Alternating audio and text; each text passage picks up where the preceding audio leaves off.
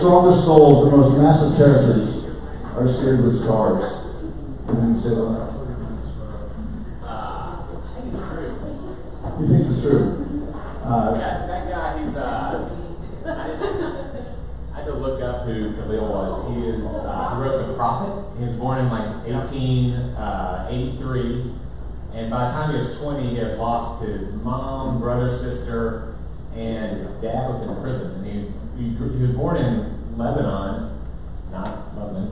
and uh, immigrated to Boston, and, and then in 1915 he wrote that amazing collection of stories. So, anyway, that was it. That's great. Um, all right, so what are you grateful for? I know one thing I'm grateful for. So, is this true? 20 women were elected in Metro Council. Yes. That's insane. Half, So- fifty percent. 50%. So, congratulations. Well done. Emily Benedict, Mary Killen, Robert Short, come around and applause.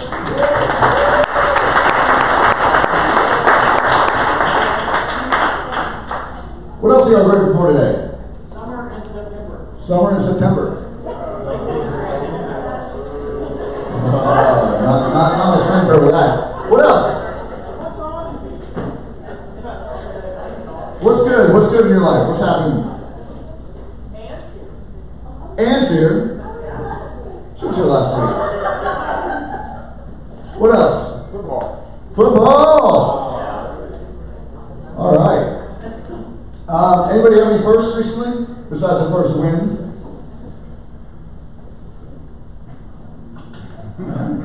Um, okay, I want to show you something real quick. So, how much are meeting face to face? So, do y'all remember when the iPhone was launched? I had to look it up. It was June 29th of 2007, so it's been 12 years. And obviously, there were, you know, the, the BlackBerry was, was there before, but I think the iPhone really revolutionized the way we connect with people. And uh, as, as real estate goes, we're going to talk today a lot about habits. But, uh, but as real estate goes, connecting with people is our job. And so I think obviously this little device, which I left over there, is helpful to us, but I think it was also changed the way we connect with people. So watch this little video. And this was a, uh, this was a guy that, that, that performed this in 2011. So it's kind of interesting. It's got a little bit of a dating on it, but it also still resonates today.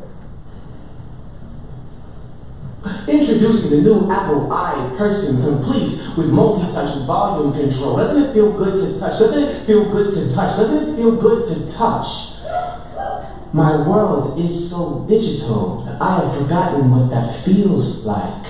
It used to be hard to connect when friends formed cliques, but it's even more difficult to connect now that cliques form friends. But who am I to judge? I face Facebook more than books face me, hoping to book face to faces. I update my status, 420 space to prove I'm still breathing. Failure to do this daily means my whole web wide world will forget that I exist. But with 3,000 friends online, only five I can count in real life. Why wouldn't I spend more time in the world where there are more people that like me? Wouldn't you? Here, it doesn't matter if I'm an amateur person as long as I have a profile. My smile is 50% genuine and 50% genuine HD. You would need Blu-rays to read the whites of my teeth, but I'm not that focused. 10 tabs open, hoping my problems can be resolved. But a 1600 by 1700 revolution, this is a problem with this evolution Double over. We used to sit in treetops, but we swung down to stand upright when someone slipped a disc. Now we're doubled over at desktops. From the Garden of Eden to the branches of Macintosh, apple picking has always come at a great cost. iPod, iMac, iPhone, iChat, I can do all of these things without making eye contact. We to sprint. We used to sprint to pick in-store blackberries. Now we run to the sprint store to pick blackberries. It's scary. I can't hear the sound of Mother Nature speaking over all that tweeting. And along with it is our ability to feel as it's fleeting. You would think these headphone jacks inject in the flesh the way we connect, the disconnect power on. So we get powerless. They got us love drugs, like e-pills. So we e-trade, email, emotion, like e-commerce, because now money can buy love for $9.95 a month. Click to receive the check. I click to X out once were. Click. I've uploaded this hug. I hope she gets it. Click. I'm making love to my wife. I hope she's logged in. Click. I'm holding my daughter over a Skype conference call while she's crying in the crib, and the next phone click. So my phone goes off on my head, I touch and I touch and I touch because in a world where there are voices that are only read and laughter is never heard, oh, I'm so desperate to feel that I hope the technology can reverse the universe of the screen can touch me back, and maybe it will when our technology is advanced enough to make us human again.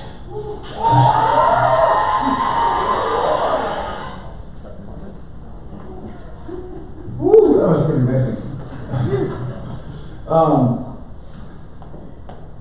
what is your uh, what's your takeaway of that? That's pretty incredible, right?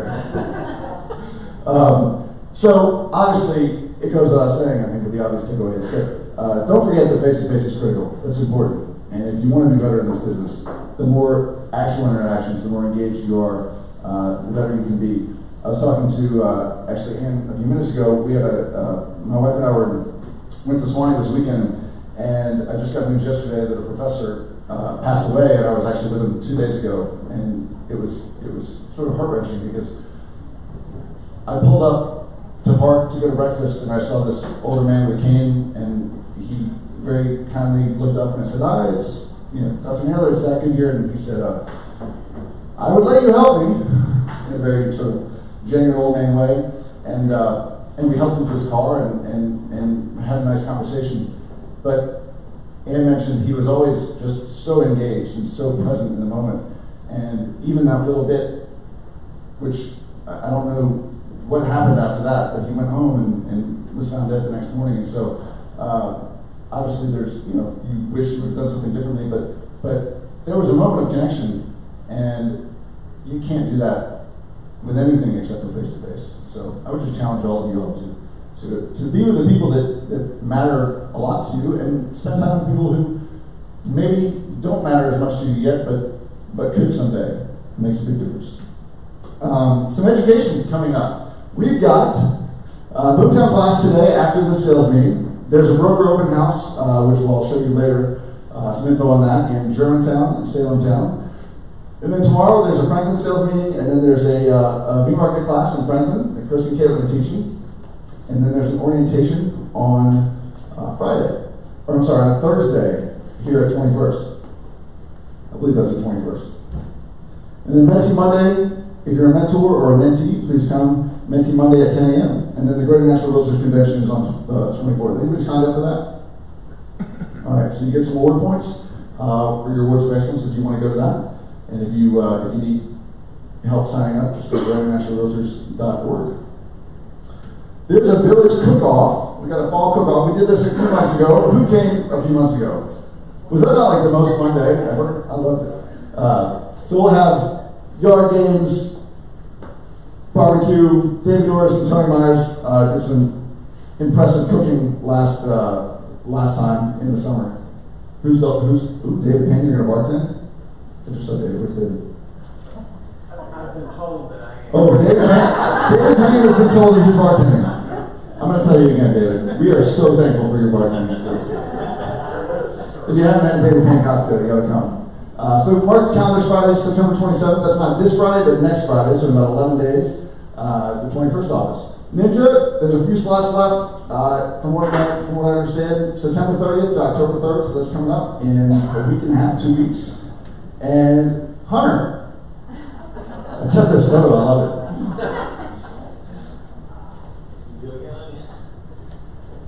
All right. So what's going on? So Warren Buffett, um, y'all know Warren Buffett, right? That the eighty-two billion dollar is worth eighty-two billion dollars. That is eighty-two thousand millions, right? Oh, so he has um, he had something called he had something called that twenty five five rule that I came across last week, which sounds interesting. But before we get to that, he has some he has some great quotes. He's like a folksy. I mean, if you hadn't read some of it, he has these annual letters that come out, and you ought to just you can download and just search Warren Buffett annual or Berkshire Hathaway annual letter and just read them, and it'll be like getting an MBA in a five page document. But some of my favorite quotes from him. Uh, we're simply we, we simply attempt to be fearful when others are greedy and be greedy when others are fearful. That's a good one. Like so, right now, what do you think he is? Fearful. Probably a little fearful, you. He's, he's kind of mixed. He's, he thinks there's a lot of cash on the sidelines, and, and so he doesn't feel uh, too fearful at this point, but he's also not, not greedy. Um, price is what you pay, value is what you get. Someone's sitting in the shade today because someone planted a tree a long time ago. This is a great one. Rule number one never lose money. Rule number two never forget rule number one. Risk comes from not knowing what you're doing. It is he's huge on uh, reputation. Like he's just known for being a straight shooter. He does all his deals uh, with a handshake, and he's about when he's buying someone's company, and he always says it takes 20 years to build a reputation, five minutes to ruin it. And if you think about that, you'll do things differently. Another thing he said, um, he talks to his manager. So now he basically runs a conglomerate, basically a big mutual fund that he owns all these companies. He says, if you lose money for the firm, I will be understanding. But if you lose a shred of repu- reputation for the firm, I will be ruthless. So, anyway. Our favorite holding period is forever. He's a real long-term thinker. He's just awesome. You ought to, you ought to read up on Warren Buffett. There's a great, uh, there's a great book uh, about him called The Snowball. I read a few years ago. So, okay, so basically, um, his uh, 25 rule, his uh, pilot was asking for career advice. And so Buffett said, tells him, hey, create a list of 25 career goals that you want to do. So it's pilot. It's like, all right, I'm getting some feedback from Warren Buffett. He goes makes his list of 25 things to do. And he wants to accomplish in his career. And so Buffett says, all right, you got your list of 25. Circle your top five you want to do. And so he does that. And then instead of saying like, hey, combine these and do these together, Buffett tells them, all right, you, you cannot, you need to focus totally on these five, and you cannot do anything for from the, the ones six through 25. And basically, the, the gist of it is um, focus, right? And so, um,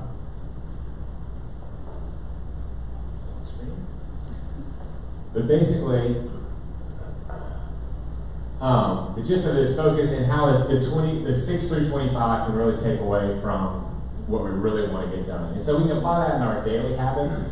If you have 10 things, you want to make a list of 10 things you can do in the morning you really want to accomplish for the day, circle the top task or two tasks and make sure you get all of those done before you focus on the other eight. Same thing for the week. You can go into the week and have 10 things you want to get done, circle two or three, and make those a priority. So anyway, I thought that was a good thing um, as we talk about goals and how to get more done. Um, 86,000 millions. 82,000 millions. He knows what he's doing. All right, so other news. Have y'all heard about a Saudi oil attack? Just happened like over the weekend. It's like big deal. Um, so Persian Gulf, Iran, Saudi Arabia, you know, the region. Saudi Arabia is huge. So is Iran. Ten drones disrupted half of the Saudis' oil output, and which is five percent of the world's output. So it's like a like a big oil prices spiked. It's a big big news story. Um,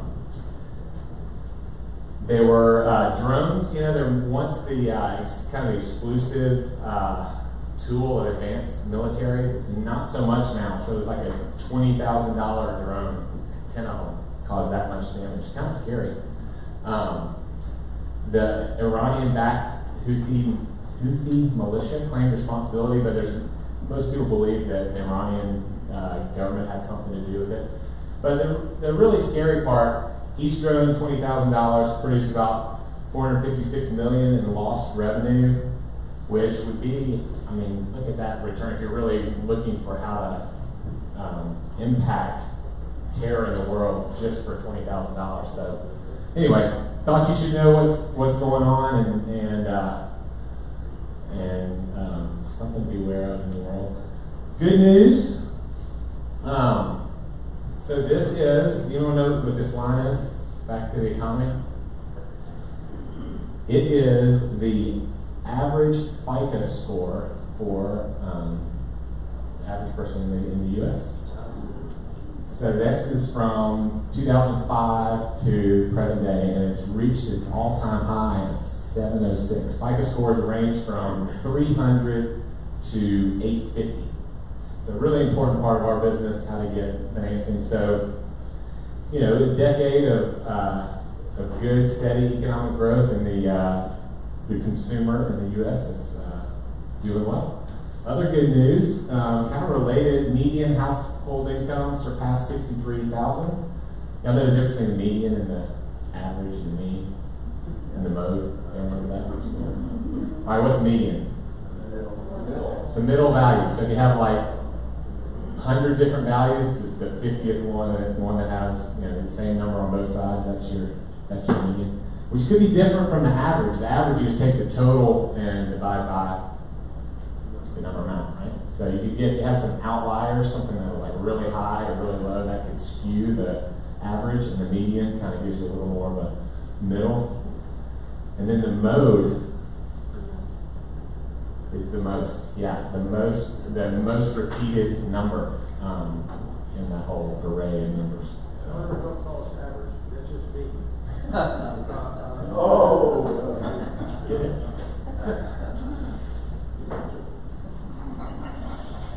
Did y'all hear that? No. No.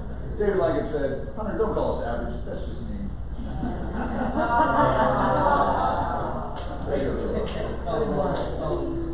The U.S. poverty rate also fell to 11.8, its lowest level since 2001. That's good news. Um, poverty rate is like it's a census data point. Um, I believe the, for a two-person house, a three-person household, it's uh, twenty thousand dollars a year income, and like a four-person household is around twenty-five. So it kind of varies based on your size of household, but that's kind of generally where it is really good news on the employment front.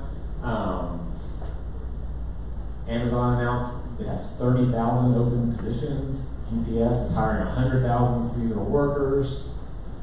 Uber is hiring another 2,000 to work on their freight division. I guess they're going to start a trucking, on-demand trucking company. Smile Direct Club, we talked about that last week. There's a pending IPO. We're gonna have, we're gonna have three more uh, at least two more uh, billionaires. And this guy must have known what was going to happen. Biggest flop in decades.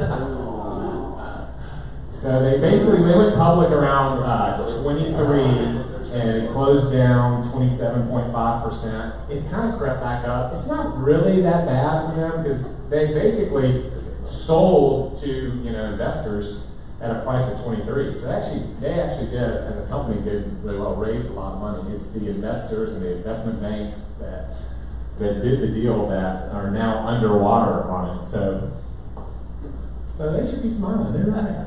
Still good. All right, last thing. Who knows the largest bank in Nashville in terms of uh, amount of deposits? Local banks? Corporate local? Pinnacle? Pinnacle. All right, so we're gonna do a little, uh, yeah, Pinnacle, top the ranking with the highest market share. Here is the top 12. Pinnacle, Bank of America. I thought there's some surprises in here. Um, and then this number is like what they did year over year in terms of growth. So Pinnacle grew their deposits 10.1%. Bank of America did Regions kind of flat. SunTrust losing some market share, dropped down. They used to be number one, like in Nashville. They were the big. Them and uh, Regions, which was First American, they bought First American. So those were, you know, one and two, of back 25 years ago or whatever. Uh, First Tennessee is, is growing. Uh, Franklin Synergy, while it's pretty high, uh, lost 7.4. Thought Capstar is a startup. They're growing quickly. That was interesting. Tony Myers, Wilson Bank Trust, growing strong. And then, so which bank is missing out of this that's like locally pretty strong? UPS? Renaissance, not in Studio is not big enough yet, but that would be Avenue? Wells Fargo. Down 27.2% in deposits. they had some local management changes apparently, and um, also, you know, the whole national thing going on. You know, open up fake accounts in your name, you know, get some- that'll hurt your market share. So there's two, there's two um, major players who are coming to Nashville and have both said we plan on being in the top five in the next uh, five years. JP Morgan Chase, and this one's tougher, but they're pretty big in other places. PNC. Wow, y'all are good. All right, I think that's it for me. All right, how's the market? What are you seeing? Things going well? Getting offers? Not getting offers? Writing offers? Who wrote an offer in the last week? Or got one? That's good. A lot of hands. Um, all right, so rates. Anybody? Did rates? They did what? Rates go up or down this week? They went up a little bit. Actually, went up a lot over the last few weeks. So a quarter point from four weeks or from three weeks ago, three point seven five in the thirty-year fix. I'm sorry, that's the five on arm. Thirty-year fix went up from three point six two five to four percent. It's a pretty big jump. So this is what it looks like again over the last couple of years since January of 2017. So we had a low point in the fall of 2017 with 30-year fixed rate loans were about you know 3.65 give or take, and then they went up, up, up, up, up, all the way up to about almost five percent, and then they kind of jumped around here and are now at four percent. Ignore that. Sorry, I forgot to update those. Those are the real numbers: four percent, three point sixty-five, and four percent. Cool. All right, we talked about this last week, so I'm not going to go through it again. But who posted this on social media? Good. If you didn't, you can still still do that. It's a great way to just uh, show something that's out there and spur a little conversation among your, your people, and then you can have some face-to-face interactions with them. Foreclosures. So, so I did a little research on foreclosures just to see, you know, is there, are there any patterns? Uh, this is kind of interesting. So there's a there's a stat that looks at the first half of the year. I'm not sure why it's the first half of the year, but this is the data that was coming up. And so January to June foreclosure activity. So properties with foreclosure filings. A foreclosure filing is a default notice, uh, a scheduled auction, or a bank repossession. And in um, so if you look at the, the the this is 2008 all the way to 2019. There are 296,000 foreclosures filed in the first half of 2019, which sounds astronomical, but it's quite a bit different than the one and a half million that were filed in 2010, right? So the foreclosure filings in the first half of the year have gone down steadily. So the, uh, the article said mid-year, mid-year 2019 foreclosure market report showed a total of, again, 296,000 U.S. properties with foreclosure filings. In the first six months, which is down 18% from the same period a year ago and down 82% from the peak of the 1.6 million in, the first six months of 2010. But interestingly, counter to the national trend, 36 of the 22 metropolitan statistical areas, that's MSA, so the national MSA is Nashville, Franklin, and Murfreesboro, right? So those are big, big picture metro areas, posted a year-over-year increase in foreclosure activity in the first six months of 2019, including what do you notice? Is there a pattern here you notice? Maybe a particular state? Four out of the top five are what state? Florida.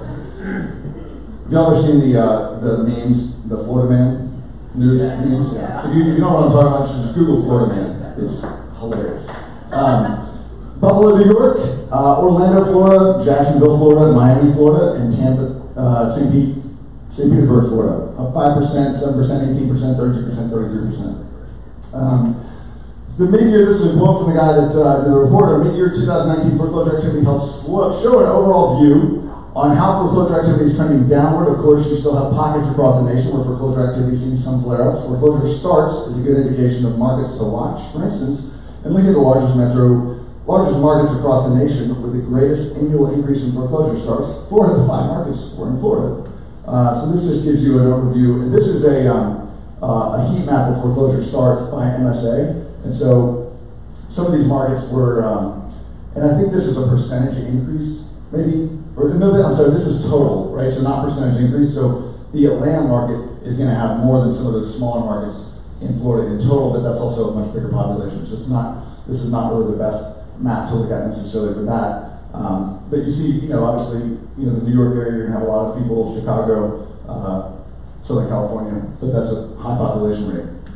This was interesting too. The average days to complete a foreclosure. I didn't, I never knew how long it would take to complete a foreclosure, but you know, the, average days right now is almost, it's like 700 and some odd days.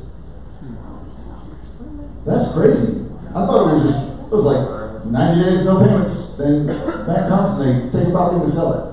Does anybody work in the foreclosure market at all? Seth does. So that, you see that? That's normal with you? Yeah, forever. takes forever. Uh, and it's been taking longer, so it's it's slowing down a little bit, but not like the good old days of 2007 where you could foreclose on something in six months. They put new restrictions in on it since the last. Yeah, there's a whole robo signing thing that was sort of frowned upon. So, uh, all right. So tools. Any questions on that, market wise? So pay attention to Florida. You know, I don't think foreclosure. I don't think that's terrible news overall nationwide. Foreclosures are down, but Florida is one of those markets that uh, tends to have people doing sometimes radical things. And if they start doing radical things and they can't pay their mortgage, it might be interesting to watch.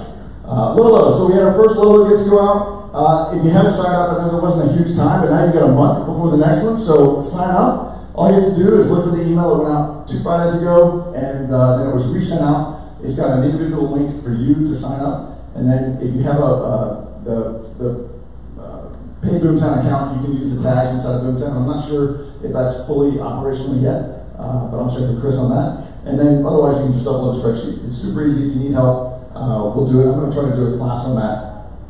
Probably not. Sometime in the next couple weeks, depending on when, when the schedule allows. Uh, let's see here. Tip of the week. All right. We talked about habits. So Hunter was talking about habits, and this is really, you know, everybody knows we should have good habits and, and, and not have bad habits. And I just want to talk a little bit more about that. And I also want to talk about just some practical how-tos of habit building. So there's a really cool video. Anybody? Uh, I'm not a sports guy.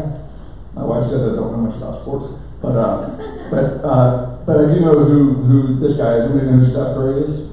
Basketball player, right? So uh, he was not a, he was not a household name a long time ago. You know, not that long ago, uh, relatively speaking. This is a video of a, of a speech that was given uh, by a coach about him, and so it's a little hard to hear. But watch this. One of the things that's pretty cool, they show all these shots of him doing all these things in practice, and then they'll show him literally like doing the exact same moves in games. It's this practice, this practice, practice, practice, practice, and the consistency of it uh, that makes him powerful. But take a look.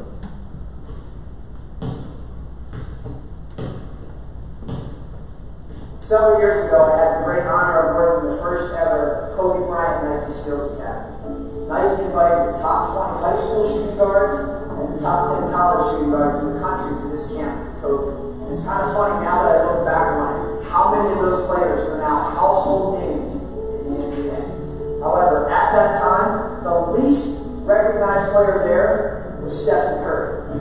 But I knew immediately that he was the most impressive, and that long term, going to a future superstar. And here's how I knew that. It was all because of his work. Now, those skills academies, we would have two workouts a day for three straight days. 30 minutes before every single workout, most players were throwing their flip flops and had on their headphones. Stephen Curry had already started doing some form shooting. He had already started taking game shots game spots and games. By the time the workout officially started, he probably already made 100, 150 full. When the workout actually started, he was meticulous with everything that he did. He made sure that he had perfect footwork. He made sure that he had perfect shooting form. If he did anything it wasn't perfect, he did it over again. And he didn't need a coach to tell him, he just did. And then probably the most impressive thing that he did was as soon as every workout was over, he would not leave the court until he switched, switched five free throws in a row. You know how hard that is? That's the level of excellence that he holds himself to. And, and the moral of that story is that success is not an accident. Success is actually a choice. And Stephen Curry is one of the best shooters on the planet today because he has made the choice to create great habits. And my question to you is, are the habits that you have today on par with the dreams that you have for tomorrow? That's something that you need to ask yourself every single day. Because whatever you do on a regular basis today will determine Where you believe tomorrow? Curry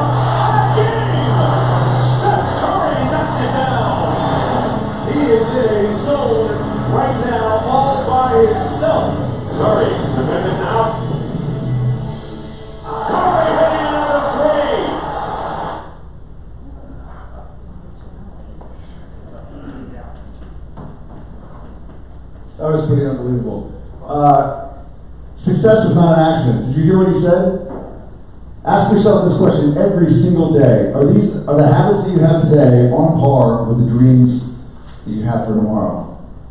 Are the habits that you have today on par with the dreams that you have tomorrow? Anybody ever heard of that before? Pretty powerful. So he's successful because he does everything so consistently every single day and doesn't let himself stop until he gets it right. He practice and practice and practice. And I think we can look at that and say, how do we actually practice in our business? Right? Do we practice by ourselves? Do we practice with each other? Or do we practice on our clients?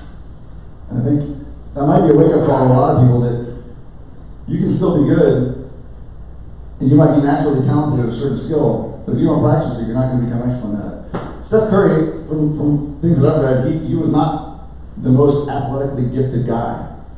If you put him up, you know, as a kid, a lot of people probably say, he's never, he's never going to be a pro. He just doesn't have it. He's not that tall, he's not that this, he's not that that. Um, but he worked at it. He, did, he didn't work, obviously, he worked harder, but he worked consistently. I think that's key. Uh, so there's two books that I read that are that are that talk about habits. One is called The Power of Habit. Go figure. Uh, the other one is called The Slight Edge. And one of the things that The Slight Edge talks about is there's a lot of things that you can do. In fact, every decision that you make, a lot of those things are easy to do, but they're also easy not to do. How many times do we talk about, all right, you should have face to faces, you should write notes, you should do this, you should do that. You know what you need to do, right? And they're not that hard. They're actually pretty easy.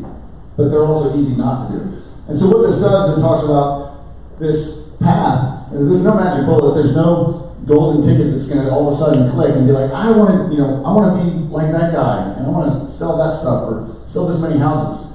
It doesn't just happen, right? It's about consistently doing little things over time, and those decisions, when they're compounded, create major results. But they can also create major results in the wrong direction. So if you do the bad habits or don't do the right habits consistently, then you're you're pushing yourself in a direction that just might not be the one that you're that you wanted to go. So what's uncomfortable early becomes comfortable later, and what's comfortable early becomes uncomfortable later, right? Talks about your philosophy, equaling your attitude, actions, and results, and how that drives your lifestyle. So in this book, uh, the slight edge talks about the secret ingredient ingredient in your philosophy. What does that mean? What is a philosophy? What, what is that? What, what comes to mind when you hear the word philosophy? Like your philosophy, Beliefs. your beliefs. What else? Your vision, your drive. All those things. He describes it as your philosophy simply means the way you think about simple everyday things. Your philosophy is what you know, how you hold what you know, and how it affects what you do. Because our actions are driven by what we know and what we believe, right? They're driven by our philosophy. So our philosophy is what creates our attitudes, and our attitudes are what drive our actions, and our actions are what drive our results, which in turn obviously creates your life on that path, either going up or going down. So an example is, he says, yeah, you need a cheeseburger every now and then, sure. If you do it every single day, you're probably going to have some heart problems later on, right? They're delicious. But it's probably not the best decision to do every day. But is one cheeseburger going to hurt you? Is two? Is ten? Probably not. But 2,000, 3,000 in the course of a few years probably isn't that great for you. The predominant state of mind, this is very interesting too, the predominant state of mind displayed by those people on the failure curve is blame, and the predominant state of mind displayed by those people on the success curve is responsibility. I'm going to say that again. The predominant state of mind displayed by those on the failure curve is blame, right? Well, I couldn't do it because of this, or I ran out of time, or I did that. Uh, whereas the predominant state of mind displayed by those people on the success curve is responsibility. You have a responsibility to do certain things. You're taking ownership of that, and you're making those, to Hunter's point, you're making those your priorities. This is cool too. You don't need more how-tos. You need something to make the how-tos work for you. Right? We're always looking for the next best thing. Like, how do you do that? How do you sell so many houses? How do you, you know, get that listing? How do you do this? Right? There's no, there really is no secret ingredient to that. It's consistency. And so we don't need to, we don't need more how-tos. We just need to figure out what our own how-tos are and how to make them work for us. And this is the cool thing too. So taking responsibility of liberation. I had an expression as a little little kid that I always said to myself, and because you know we we got in trouble and we either lied or thought about lying, and it never goes anywhere good. Uh, and so you know you do that a few times as a little kid, and you're like, ah, I got in trouble. And so I always had this internal thought that that said, uh, when in doubt, tell the truth. If you're ever in doubt, just tell the truth. It usually ends better. so, so um, because taking responsibility is something that liberates you.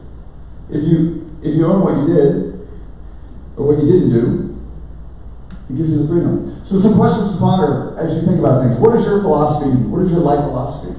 Do you have an entitled attitude or a value-driven attitude? And when you receive learned information, skills, tools, do you just enjoy how it makes you feel in the moment, or do you actually practice those new skills? I would challenge each of you to try to practice something every day that, that you don't feel like you're a master at. And sometimes that's hard to do in the real estate business, right? Because we're used to having clients uh, to interact with. So maybe get a partner, maybe you do it in the mirror. I don't know, whatever makes you comfortable. But try practicing.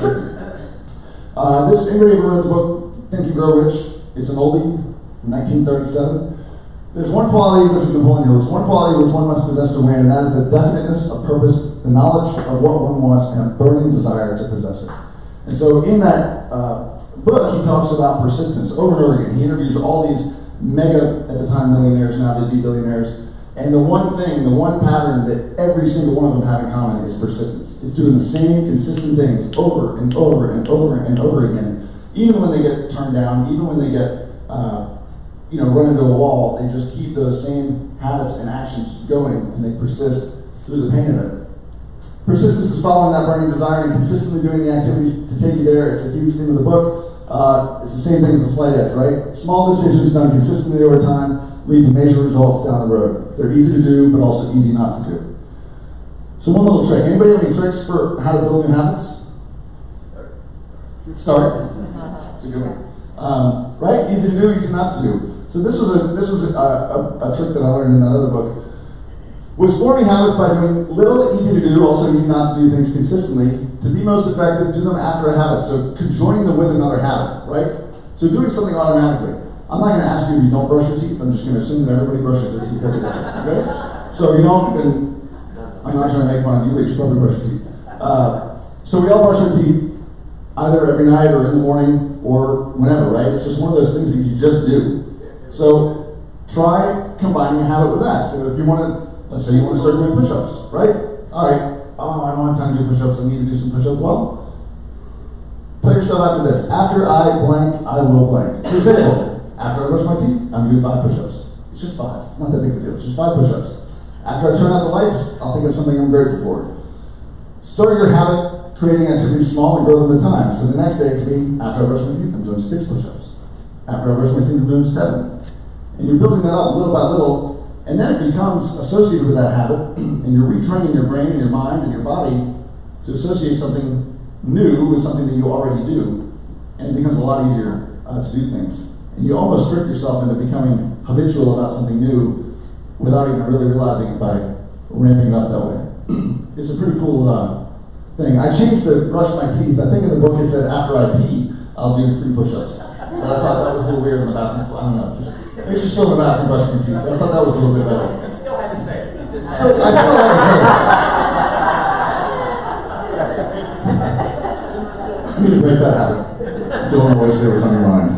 All right, start your habit creating activity small, grow them with time. Plant, cultivate, harvest. Uh, the key ingredient is cultivate. You can't. Uh, you can uh, only, I guess, is what I was trying to write. Only uh, that can only happen over the course of time. All right. Any questions, thoughts on that? Cool. All right. Coming soon, broker open. There's broker open today in Germantown. There are five properties that are going to be on the market from 11 to 1. 707 Buchanan in Salemtown, 70, or 607 Coffee Street. So that's Jennifer Ray, JC and Sarah Connolly. Uh, 1816 7th Avenue North by Kristen Koch. And we also have uh, uh, Lee London Parks is doing 1808 7th Avenue North. And then Will Parker has got 1822 9th Avenue North. So these are all, I think, in about the same price range 550 44 499 449 559 So if you want lunch, you want to go to all five of them, go support your friends, and uh, do that. Any other broker open houses we have coming up? All right. Hang on one second. I gotta get my coming soon stuff.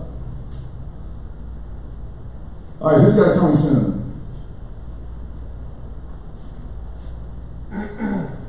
Crystal Morgan. You want to talk about? it? Um, I've got a three, two and a half coming up in Forest Crossing. Um, I've got a three, two and a half coming up in Forest Crossing in Franklin. Um, uh, amenities include pool, tennis courts. It's really cute. We're gonna go live at the end of September at three thirty. All right, Robbie. Nick. He's got three. Nick's killing it. Uh, Sheridan, that's in East. It's better than new. So you'll have to go and find out what that means. Um, I imagine there's some, some, some great improvements. Um, 525, that is a, a fantastic area. Uh, you get some larger lots over there, which is nice, and it's a little more private, um, off the beaten path of Gallatin Pike. Um, Yemen Place is right in the thick of it all at Fifth and Main. Um, that building is really, really cool, and the location's insane, um, being so close to downtown. So that one will be coming at 269, great price. Um, and he was telling me about that one because I asked, like, the HOA is kind of crazy over there to a degree, um, but they have apparently uh, some sort of amazing heating system, and your bills are pretty much nothing uh, in that building. So it's, it all kind of evens out. Um, and then he's got Branch Oak Trail, 2032 Branch Oak Trail. Um, this one is, I'm pretty sure it's Percy Priest Lake area. Um, walk to the lake, relax in that sexy hot tub overlooking the woods so nobody can watch you in your sexy hot tub. 349.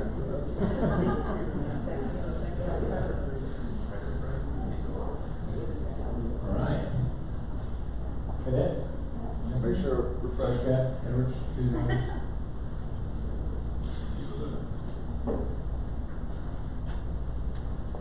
All right, everybody else coming soon? All right. One more thing. So, mouse go? There it is. All right. Uh, do you want to sell the, the? I think this is one of the biggest listings the Nashville's ever had. I want to show you a little, a little uh, 22 second video of something.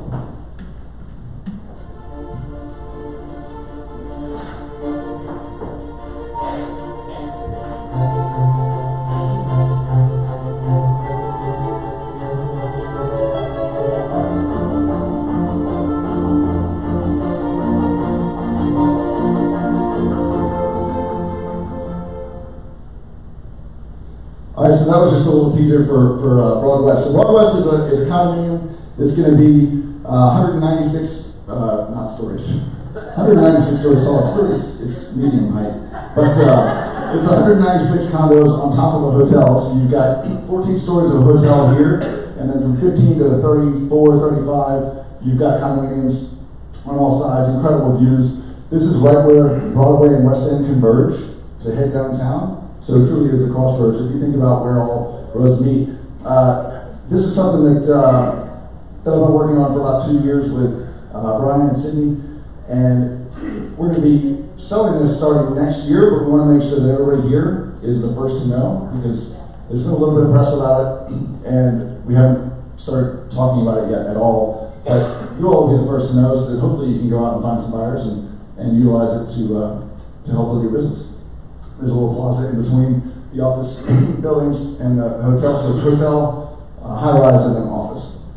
So 196 condominiums, 400 feet above Nashville, the convergence of Broadway, and then you'll get first to know. One, one thing that I think is cool, so we're, we're basically rolling out a six-week plan to give any agent that wants it tools, unbranded, you can brand them to you, to go out and help find buyers.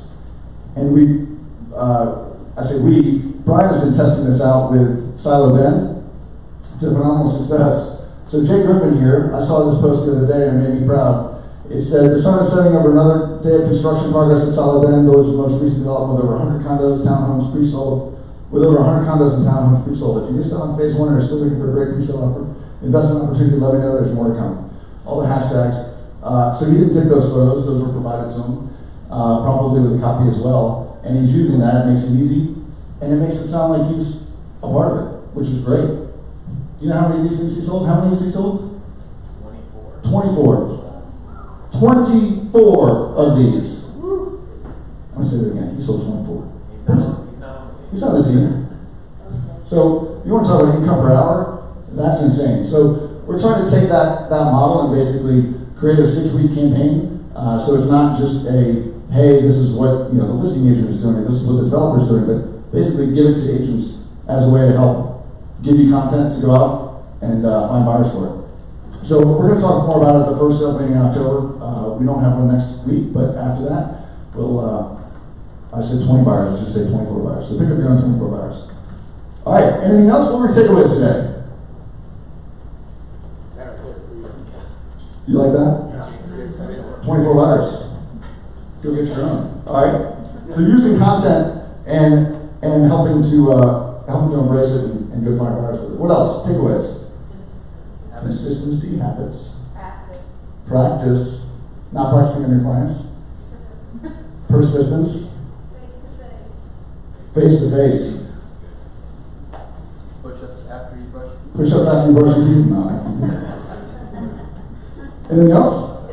Top five goals of list of twenty-five. Top five out of the list of 25. That was pretty cool. Take your life goals and then sort your top five and then just basically ignore the rest.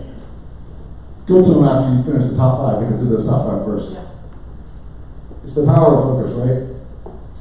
Which we all started with. I'm no exception. So after this, we're going to do a Boomtown introduction. It's going to be a, uh, a basic level class. So if you if you're familiar with Boomtown, we're probably going to start. We're probably going to talk about stuff that you already know about. But if you have been wanting to get into it and figure out what to do and how to get started and what to know and what to pay attention to and you know what the top five things to pay attention to are, we're going to talk about that stuff. So stick around. We're going to start that in about 20 minutes, 10:30. And until then, if you want to go to the broker open, go get some lunch, go to Germantown. You should have gotten an email about those, but it's also in the village calendar. Thank you all for having a good sales meeting. Y'all enjoy your day.